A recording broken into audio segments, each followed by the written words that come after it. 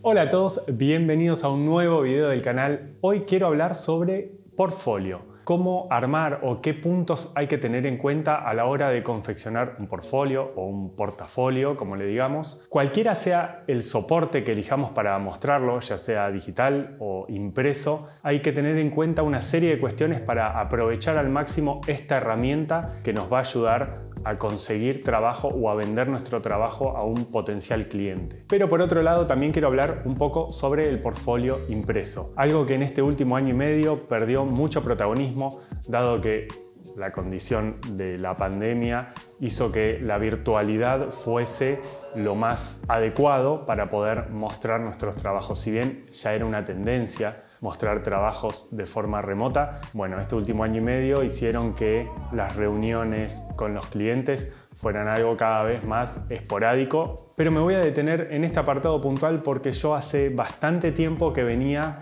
apartando material de cada uno de mis trabajos para armar un portfolio virtual y eventualmente algunas fotos sí quería imprimirlas. Hace algunas semanas un virus, ransomware, encriptó todo mi material y parte del material que sobrevivió a la encriptación fue este que fui apartando para mi portfolio. Así que eso también me hizo pensar en lo digital de nuestro trabajo, en lo dependientes que somos de tener un dispositivo electrónico, una pantalla delante para mostrar nuestro trabajo. Si bien es muy cómodo y tiene un montón de pros, podemos ver también que ante un desperfecto o un error de este tipo, perdemos nuestro material. Así que me decidí y dije, basta de estirar esto, me senté, me puse a diseñar un fotolibro, armarlo y es así como de mi fotografía macro armé un pequeño fotolibro. Si bien no es un portfolio, porque no lo voy a usar como portfolio, dado que con la macrofotografía yo no genero ningún tipo de ingreso, quise hacerlo más que nada por disfrute, carácter personal. Y es así que acá tengo este pequeño, modesto, pero bello fotolibro macro.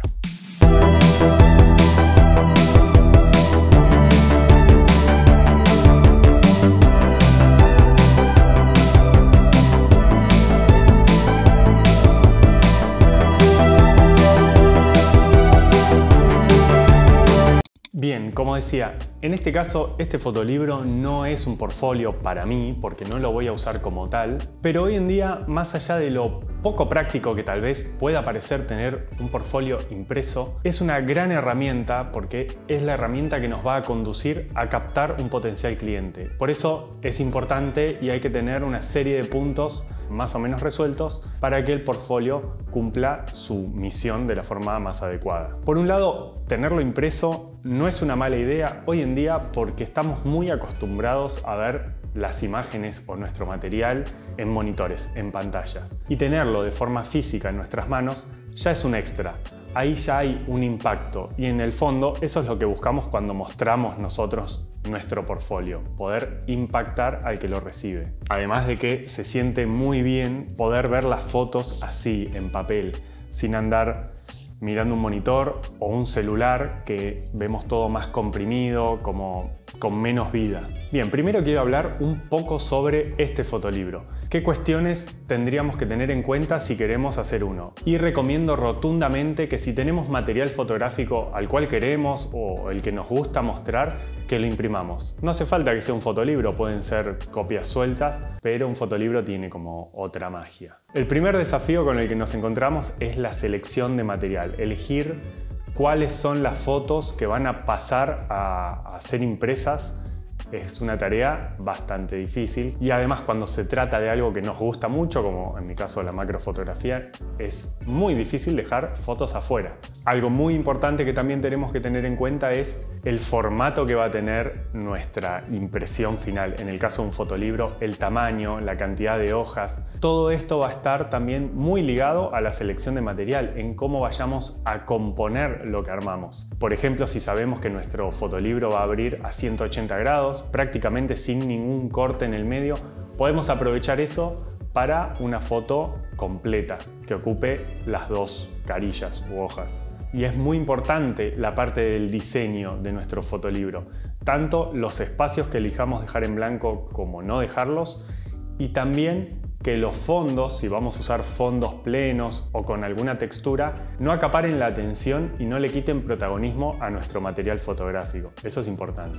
Desde ya que también es muy importante la calidad del fotolibro, la calidad de impresión, del papel, porque podemos tener unas fotos muy muy buenas, pero la calidad física de nuestro fotolibro no es buena y eso va a tirar un poquito para atrás el trabajo. Por eso es que me parece importante que si nosotros vamos a imprimir un fotolibro, por ejemplo, dirigirnos antes al lugar, pedir unas muestras, ver cómo es la encuadernación, ver cómo es la impresión y en base a eso decidir si nos gusta o no nos gusta. También es importante que nosotros sepamos cómo vemos las fotos en nuestro monitor y cómo van a salir en la impresión. Para eso podemos, bueno, invertir un poquito más y hacer algunas impresiones de prueba y en base a eso calibrar un poco nuestro monitor a ojo o bien calibrarlo como corresponde y ya sabemos que lo que vemos nosotros en el monitor así va a quedar en la impresión. En este caso yo hace bastante tiempo que imprimo en este laboratorio, voy a dejar el link de la página abajo por si quieren ver precios o fotolibros y ya tengo calibrado mi monitor en función de cómo salen las copias, entonces no hay mucho misterio. A veces puede haber una diferencia mínima, pero no tengo sorpresas, la verdad. Y dejé para lo último, pero no por eso menos importante, sino todo lo contrario, es muy importante el orden del material. Las que nos parezcan mejores de todas, las vamos a dividir en dos grupos y vamos a colocar parte de estas fotografías muy buenas al principio y la otra parte las vamos a colocar al final del fotolibro.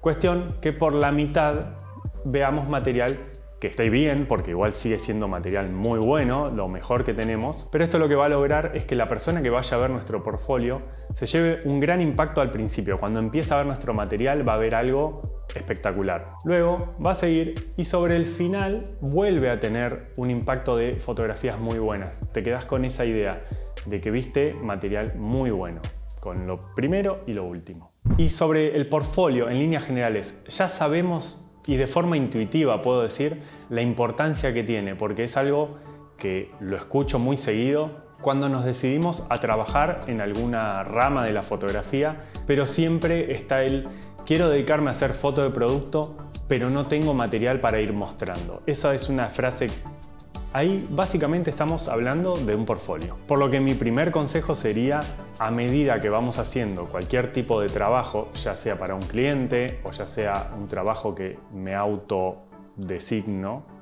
o me autocontrato, Guardemos y empecemos a separar algo de ese material para empezar a armar nuestro portfolio. Y ahora quiero hablar sobre cinco puntos que sí me parecen importantes, que son aplicables igual a cualquier soporte que tengamos, uno digital o un portfolio físico. El primero es, y un poco ya lo dijimos, es la dificultad en la selección del material. Sabemos que es muy complicado elegir qué material queda dentro y qué material queda fuera de lo que vamos a mostrar para captar un cliente. Pero sí es muy importante, y esto es clave, mejor calidad que cantidad. Si nosotros en nuestro portfolio incluimos una foto que no está muy buena o que realmente no nos guste o no nos es muy probable que ese trabajo medio tire por la borda el resto. Está bueno que estemos seguros de qué es lo que nos gusta. No necesariamente tiene que ser una foto suprema, porque la verdad es que ninguno de nosotros logra la mejor foto del universo, pero está bueno que esa foto nos represente, nos represente desde lo que nosotros somos hasta lo que nos gusta hacer. En segundo lugar, es muy importante definir el estilo.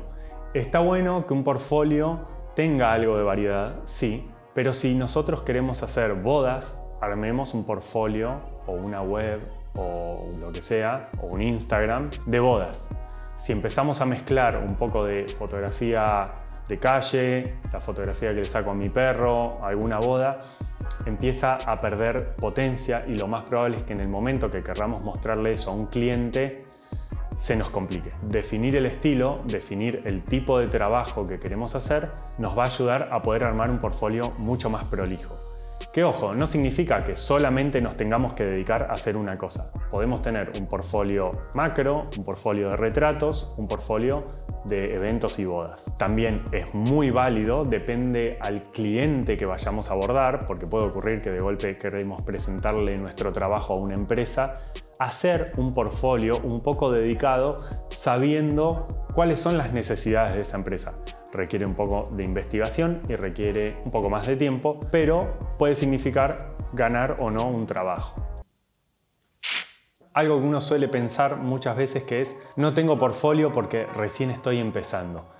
Lo cual es verdad, si uno recién empieza no tenemos material para mostrar. Pero tampoco tenemos que quedarnos de brazos cruzados esperando que aparezcan clientes para empezar a generar un portfolio. Me parece muy importante que nosotros nos generemos o nos planteemos trabajos y desafíos para ir logrando material que esté bueno. Si bien sé que es difícil porque cuando uno se autoimpone un trabajo, se da ciertos permitidos que hacen que la exigencia a veces no sea tal como cuando está enfrente de un cliente. Pero es importante que tengamos cierta determinación para ir definiendo también nuestro estilo, porque en esos trabajos se ve realmente cómo actuamos nosotros y qué es lo que realmente nos gusta hacer. En cuarto lugar, sobre qué soportes o de qué forma presentar nuestro portfolio. Hoy en día está de más decir que es muy importante tenerlo de forma online, ya sea una web que siempre da cierto prestigio. En algunos casos se dice como que la web, eso lo escuché mucho y creo que yo también lo he dicho,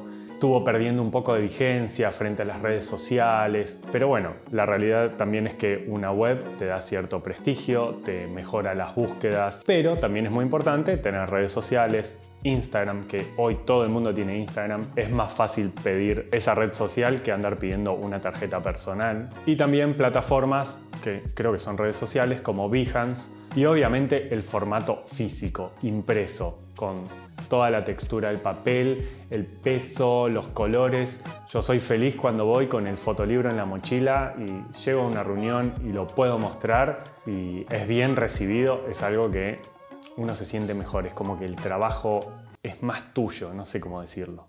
Y en quinto lugar, saber que el portfolio es un trabajo que nunca vamos a cerrar es algo que está en constante crecimiento y si eso ocurre significa que vamos muy bien, porque significa que vamos mejorando, que nuestros trabajos cada vez son mejores y que tenemos trabajo casi de forma constante. Estar siempre pensando en actualizarlo, en agregarle una foto o dos, o en sacar una foto porque ya tenemos otra que está mejor. Tenemos que hacerlo y tenemos que tomarlo como un hábito porque nos hace crecer como los profesionales que somos. Y además hacer backup siempre. Me olvidé en los últimos videos de decirlo.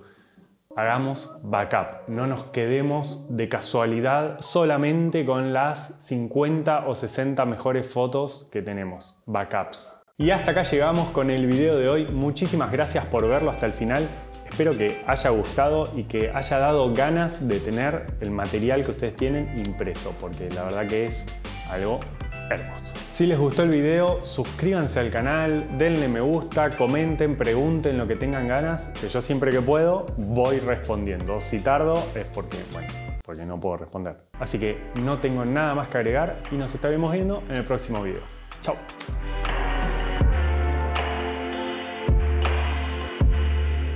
Muy bueno.